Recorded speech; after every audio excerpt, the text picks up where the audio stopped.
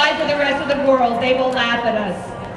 And I, if you take one thing away today, folks, take this message. Don't get mad, get busy. This is the beginning of a national campaign.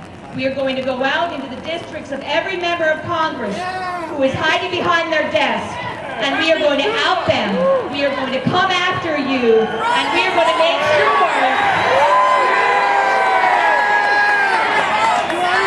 we are going to make sure that you are put on notice. Thank you very much.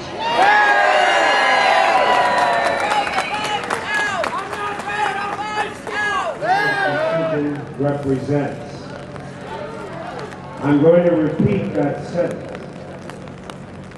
We, we refuse to accept the strategy of normalization that Attorney General Holder's decision represents. Terror is a crime against society and should not be tried in the same court as crimes against individuals or against a particular country.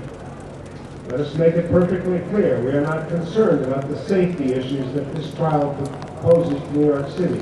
We trust our law enforcement officers.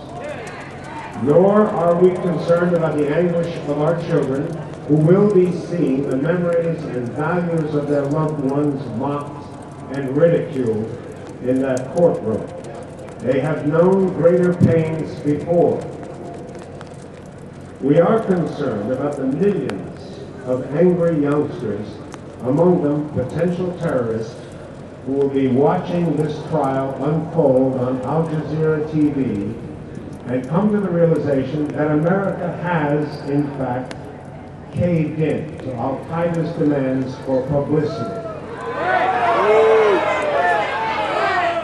The atrocity of 9-11 and the brutal murder of Daniel Pearl are vivid reminders of jihadist terrorists craving to dramatize their perceived grievances against the West.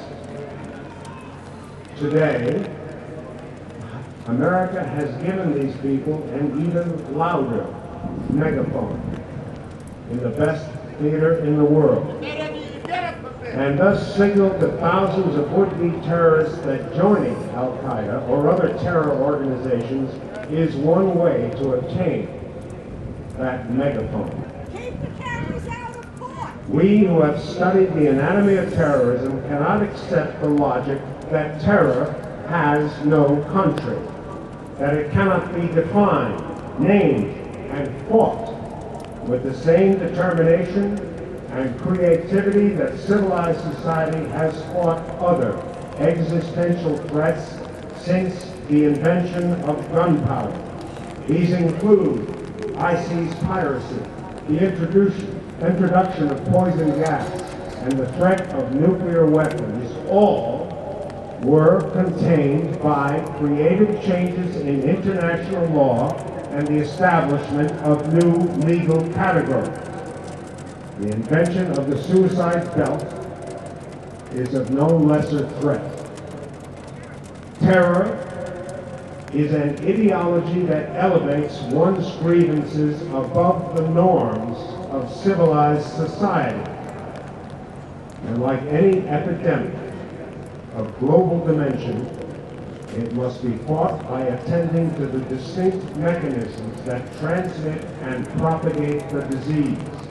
In 2002, the international community gave America a moral mandate to fight the new epidemic with all the necessary instruments, including a new court system, new legal regimes,